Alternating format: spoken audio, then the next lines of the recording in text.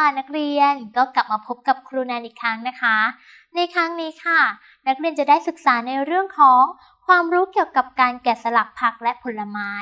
ซึ่งเนื้อหาในครั้งนี้นะคะ จะเป็นเรื่องของการแกะสลักผอบฟักทองค่ะ โดยเนื้อหาครั้งนี้ค่ะนักเรียนจะตรงกับมาตรฐานการเรียนรู้คุมสาระการเรียนรู้การงานอาชีพ มาตรฐานง 1.1 และตัวชี้วัดที่เราใช้นะคะ จะตรงกับตัวชี้วัดการงานอาชีพ ง 1.1 ม 4 ถึง 6 ทับ 2 ง 1.1 ม 4 ถึง 6 ทับ 3 ง 1.1 ม 4 ถึง 6 ทับ 4 และง 1.1 ม 4 ถึง 6 ทับ 7 ค่ะ จุดประสงค์การเรียนรู้ในครั้งนี้นะคะ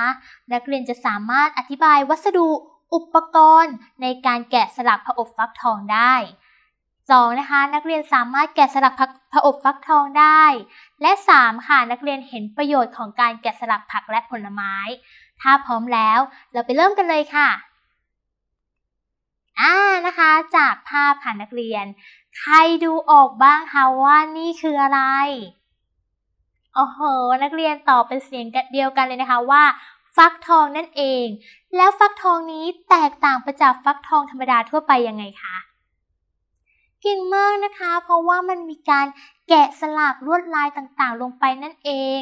แล้วชื่องานของการแกะสลักในครั้งนี้นะคะ ใครทราบบ้างว่าเราเรียกว่าอะไรปมมือดังๆเลยค่ะนี้เราเรียกกันว่าการแกะสลักผ้าอบฟักทองนั่นเองนะคะ แล้วนักเรียนเคยมีประสบการณ์ในการแกะสลักผ้าอบฟักทองมาก่อนไหมคะอ่านะคะ ส่วนใหญ่บอกว่าไม่เคย แต่บางคนก็บอกว่าเคยด้วยนะคะ แล้วในการแกะสลักผอบฟักทอง มันสามารถนำไปใช้งานอย่างไรได้บ้างคะอ่านะคะ นักเรียนตอบเป็นเสียงเดียวกันเลยว่านำไปใส่อาหาร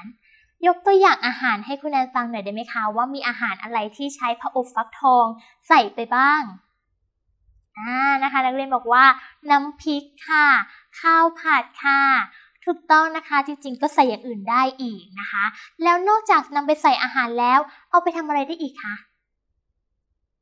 น่านะคะ ก็ใช้ในการตกแต่งจานอาหาร หรือว่าใช้ตกแต่งสถานที่ก็ได้เช่นเดียวกันค่ะ ดีมากค่ะ แล้วลวดลายที่เราจะใช้ในการแกะสลักผาอบฟักทอง เราสามารถใช้ลวดลายอะไรได้บ้างคะอ่านะคะลายดอกไม้ดีมากค่ะลายดอกไม้อะไรบ้างช่วยยกตัวอย่างหน่อยลายดอกกุหลาบอ่าลายดอกรักเล่มีอะไรคะ ดอกบานชื่นนะคะ ดีมากค่ะ มีนอกเหนือจากดอกไม้อีกไหมคะ ลายสัตว์ต่างๆนะคะ ก็ขึ้นอยู่กับอะไรคะนักเรียน ขึ้นอยู่กับผู้แกะสลักจะออกแบบลวดลายเองเลยนะคะ เยี่ยมมากเลยค่ะ ทีนี้ค่ะนักเรียน แล้วถ้าสมมติว่าเราจะต้องทำการแกะสลักผอบฟักทอง นักเรียนคิดว่า วัสดุหรืออุปกรณ์ที่ต้องใช้เนี่ย เราจะต้องเตรียมอะไรบ้างคะ ถูกต้องนะคะอย่างแรกเลยค่ะ เราจะแกะพออบฟักทองเราก็ต้องเตรียมฟักทองก่อนนะคะ ต่อมาค่ะ ถูกต้องนะคะ เพราะว่าเราจะแกะสลัก เราก็ต้องเตรียมมีดแกะสลักให้เรียบร้อย มีอะไรอีกคะอ่านะคะ เตรียมมีดปลายแหลม เตรียมอะไรอีกคะผ้าสะอาดดีมากค่ะอ่ามีช้อนสแตนเลสมีอย่างอื่นอีกไหมคะนี่อะไรคะ กระดาษนะคะ กระดาษวาดเขียนดินสอยางลบ เอามาทำอะไรคะนักเรียนกระดาษเนี่ยใช่นะคะ ในบทเรียนครั้งที่แล้วเราบอกไปแล้วโนว่า เราต้องมีการล่างแบบนะคะ ลงบนกระดาษก่อน เก่งมากเลยค่ะ หมดหรือยังคะนักเรียนยังนะคะมีอะไรคะถูกต้องนะคะนั่นก็คือถาดสแตนเลสหรือจะใช้เป็นถาดพลาสติกก็ได้ แล้วก็ผ้ากันเปื้อนค่ะ ใครตอบถูกหมดบ้างคะ โอ้โห ยกมือกันเต็มเลย นักเรียนเยี่ยมมากๆเลยค่ะ ตอนนี้นะคะนักเรียนก็ได้ทราบแล้วว่า วัสดุอุปกรณ์ที่ต้องใช้ในการแกะสลักผอบฟักทองมีอะไรบ้าง ขั้นตอนต่อไปนะคะ เราไปดูวิธีการแกะสลักผอบฟักทองกันเลยค่ะขั้นตอนแรกนะคะ เราทำอะไรคะนักเรียน เตรียมฟักทองให้เรียบร้อยนะคะ โดยนำไปทำอะไรบ้าง อ่านะคะเก่งมากค่ะ ก็ไปล้างทำความสะอาดฟักทองให้เรียบร้อยค่ะ แล้วก็ใช้ผ้าสะอาด ซับให้แห้ง จากนั้นก็ไปออกแบบลายผอบค่ะ โดยล่างเป็นช่อดอกลักเล่บนกระดาษ อันนี้นะคะตัวอย่างคุณแนนจะทำเป็นดอกลักเล่นะคะ จากนั้นค่ะในนักเรียนลองตอบคำถามคุณแนนหน่อยนะคะว่า ฟักทองที่เหมาะสำหรับจะนำมาแกะสลักในครั้งนี้ค่ะ ควรมีลักษณะเป็นยังไงบ้างคะ อ่านะคะดีมากเลยค่ะนักเรียนบอกลักษณะภายนอกก่อน ก่อนอื่นเลยเราเราสังเกตลักษณะภายนอก ผิวของฟักทองควรเป็นยังไงคะผิวของฟักทองที่เหมาะสำหรับนำมาแกะสลักจะต้องขรุขระนะคะ น้ำหนักล่ะคะน้ำหนักกำลังดี ส่วนเนื้อข้างในเป็นยังไงบ้างคะ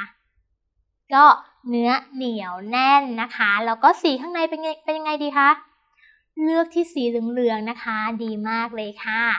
ขั้นตอนต่อไปค่ะนักเรียน เมื่อเราทำความสะอาดเช็ดฟักทองเรียบร้อยแล้วนะคะ แล้วก็มีการออกแบบล่างแบบเรียบร้อยแล้วลำดับต่อไปค่ะ ก็จะให้นักเรียนนะคะ ใช้มีดเจาะลงไปด้านบนของผลฟักทอง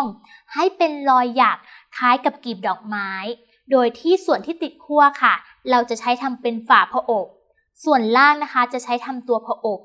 จากนั้นค่ะก็ให้นักเรียนใช้ช้อนเนี่ยตักไส้แล้วก็มเมล็ดของฟักทองออกให้หมดค่ะ ทีนี้ค่ะนักเรียน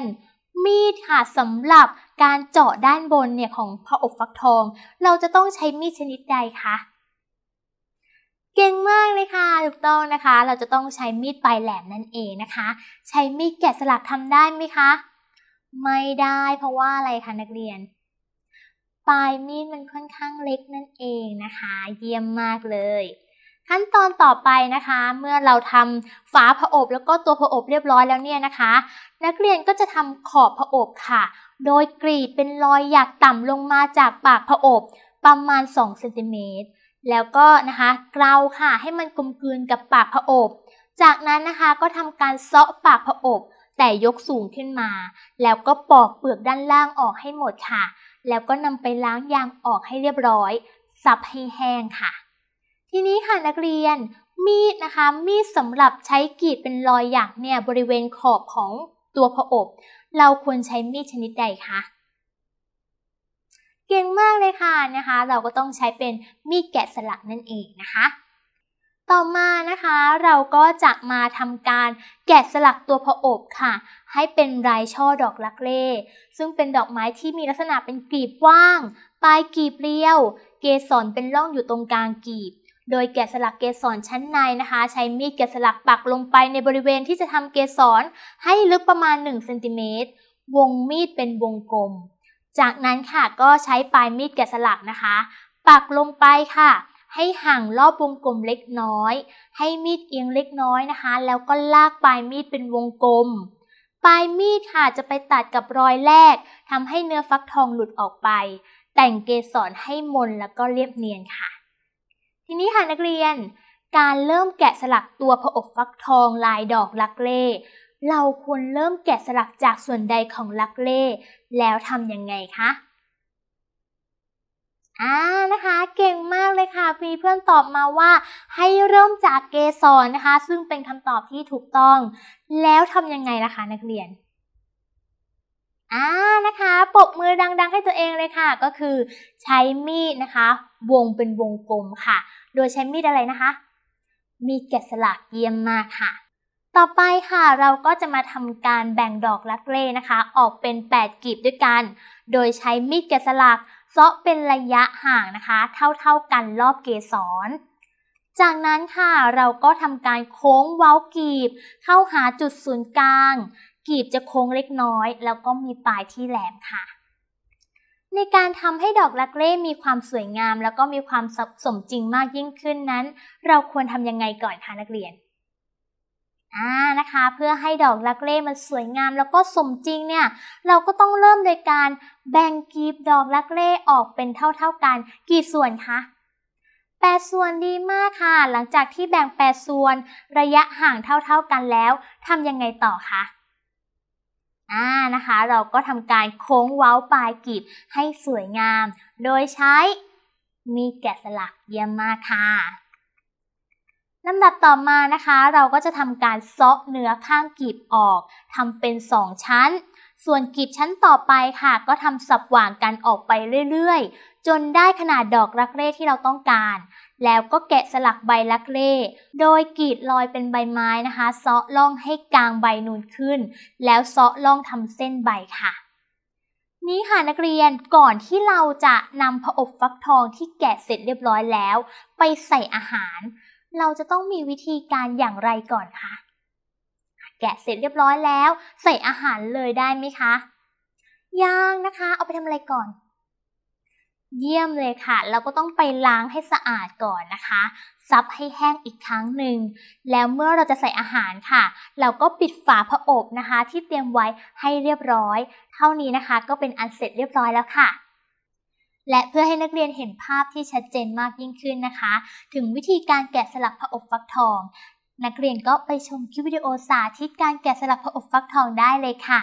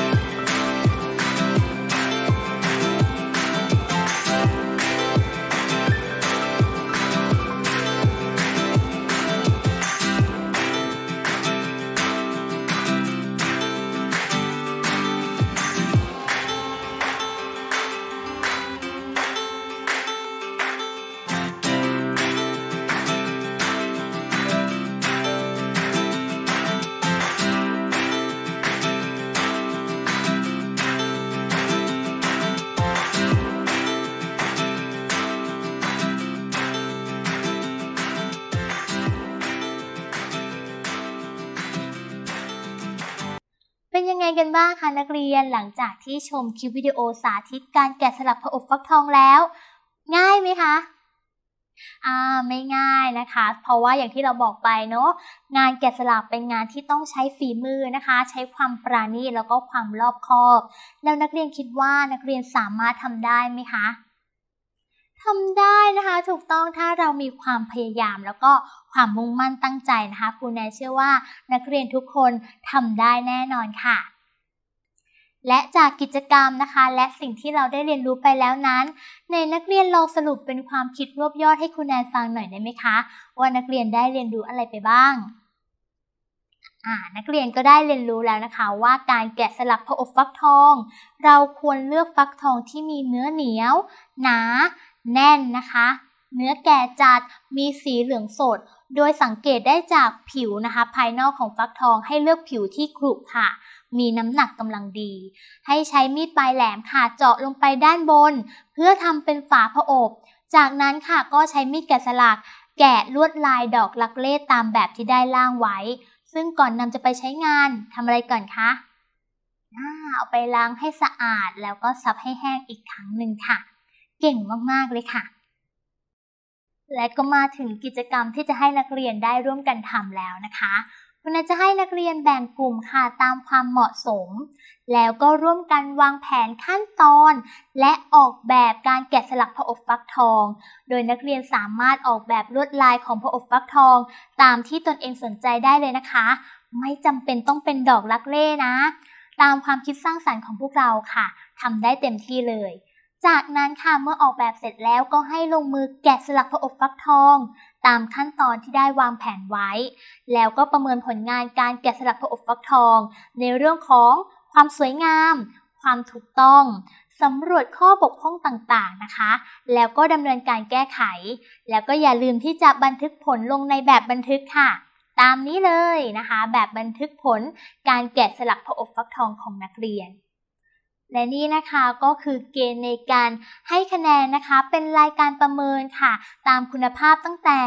1 2 3 ถึง 4 ค่ะ นักเรียนก็ดูตามเกณฑ์นี้นะคะ แล้วก็ประเมินผลงานของตนเองได้เลยค่ะ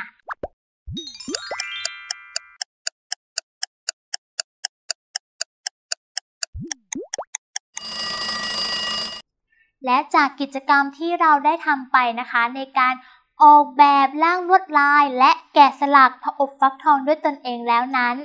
นักเรียนได้เรียนรู้อะไรบ้างคะในลองสรุปความรู้ให้คุณแนนฟังให้ชื่นใจหน่อยค่ะ นักเรียนก็ได้เรียนรู้ว่า การแกะสลักผอบฟักทอง ควรมีการวางแผนการทำงาน ออกแบบผอบฟักทอง จากนั้นนะคะก็ลงมือแกะสลักผอบฟักทอง ตามขั้นตอนที่ได้วางแผนไว้ เพื่อให้ได้ผลงานที่สามารถนำไปใช้งาน และนำมาตกแต่งให้อาหารน่ารับประทานมากยิ่งขึ้นค่ะ เยี่ยมมากๆเลยนะคะนักเรียน จากนั้นค่ะคุณแอนก็ขอให้ตัวแทนแต่ละกลุ่มนะคะ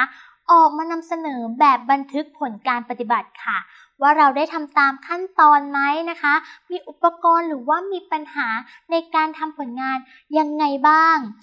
นอกเหนือจากแบบบันทึกแล้วนะคะ คุณแนนก็ขอให้นักเรียนค่ะนำผลงานการแกะสลักพระอบฟักทองของกลุ่มตัวเองค่ะ ออกมานำเสนอเพื่อนๆหน้าชั้นเรียนด้วยนะคะ อย่างที่บอกไปค่ะว่าลวดลายต่างๆ เนี่ย มันเป็นความคิดสร้างสรรค์ของพวกเรานะคะ ดังนั้นค่ะจะสวยงามมากหรือน้อยแค่ไหนเนี่ย ก็ไม่เป็นไรค่ะต้องมั่นใจแล้วก็ภูมิใจในผลงานของตัวเองนะคะ และถ้ามีโอกาสเนี่ยก็อย่าลืมส่งผลงานมาให้คุณแนนดูบ้างนะคะ